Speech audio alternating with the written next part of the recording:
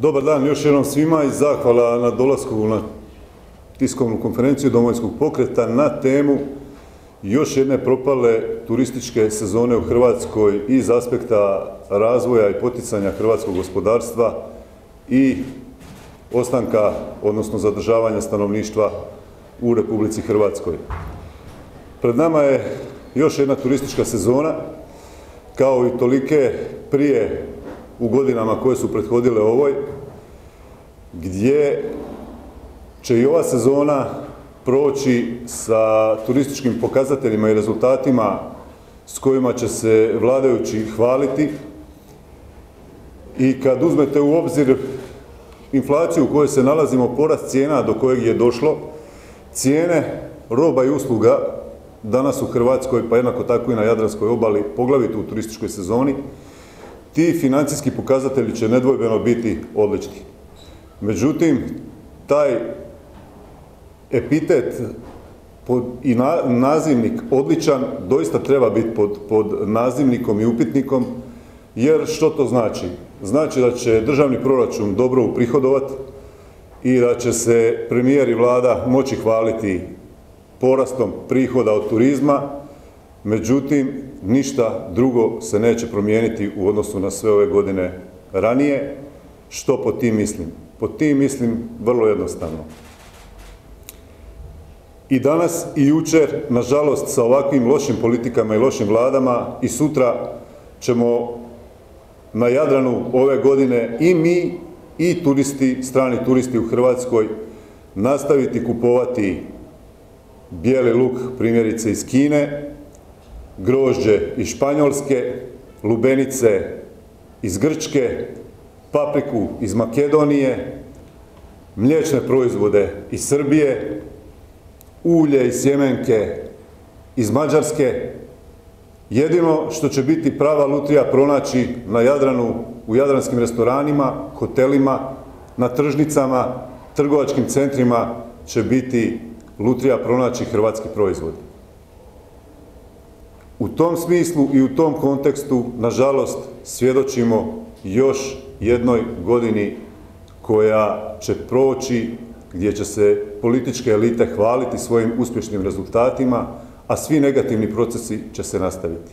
Negativni procesi ponajprije u smislu zatvaranja radnih mjesta, gašenja obiteljskih poljoprivrednih gospodarstava i posljedično odlaska ljudi iz Hrvatske jer od svoga rada, od proizvodnje u Hrvatskoj se ne može živjeti.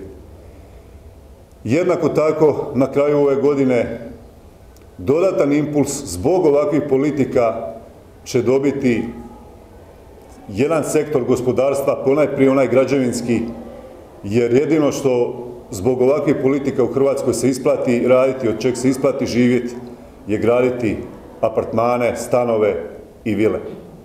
Naravno, onaj koji ima sreću imati atraktivne parcele na Jadranu i tko ima sreću imati kapital graditi te iste.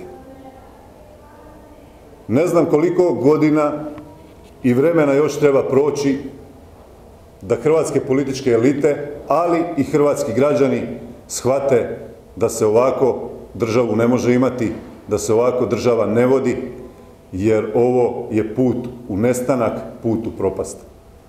I zbog toga su loši i katastrofalni demografski pokazatelji, zbog toga bilježimo u posljednjih 12 godina gubitak više od 500 tisuća stanovnika, zbog toga su nam sela prazna, farme zatvorene i ljudi odlaze glavom bez obzira. I ako neko misli još uvijek da se sve svodi da nakon sezone brojimo, izbrajamo broj turista i broj novca koliko su ostali u Hrvatskoj, koliko su isti ostavili u Hrvatskoj, taj se grdno vara. Jer novac je samo jedna varijabla u ovoj računici. Zapitajte se, ponajprije hrvatski građani, jer u hrvatsku politiku i hrvatske političare, barem ove, ovi koji vode državu više ne vjerujem, zapitajte se čija radna mjesta i gdje otvaramo radna mjesta dokupujemo strane proizvode i jednako to čine turisti u našoj zemlji.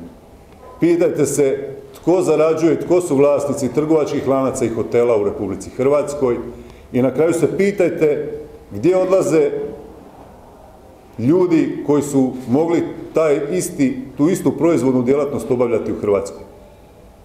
Jer tu možda govorimo o Dalmatinskoj Zagori, o Zagorju, o Lici, o Banovini, o Slavoniji.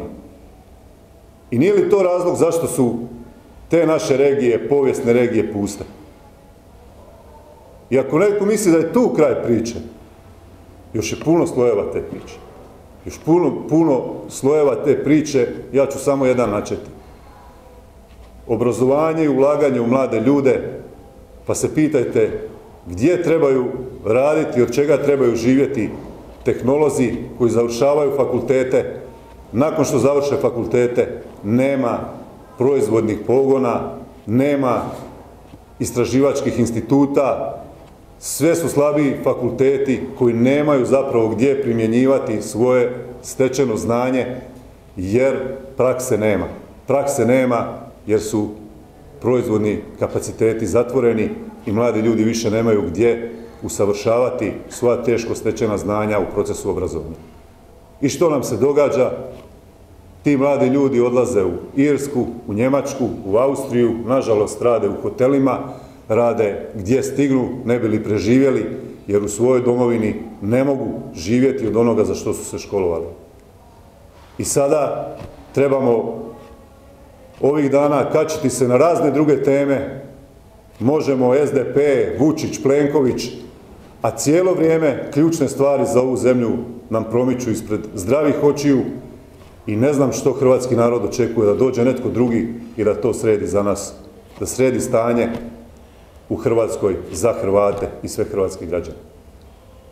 Ovo govorim sa jednom, uh, jednom dozom i gorčine i, i jednog ružnog osjećaja poraza, jer ovo su zadnji trenuci da se Hrvatska država digne. Zašto ovo kažem? I s tim ću ovu temu i završiti.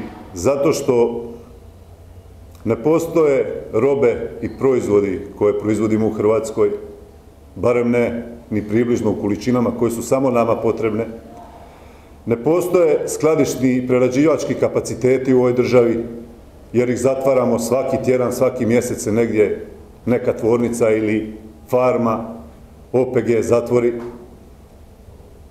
Međutim, sve ove godine gledamo taj scenarij, sada smo došli do scenarija da u velikoj mjeri više ni teoretski nema to tko proizvoditi. Nema jer nema ljudi. Uspjeli smo istjerati ljude iz ove zemlje. I građane molim ovim putem neka ne svaljuju sve samo na politiku koja je, je najveći krivac.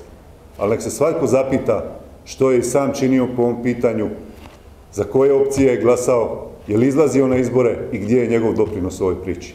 Ako nam je stalo do ove države, svima nama, svako od nas ima svoj obol u ovoj priči.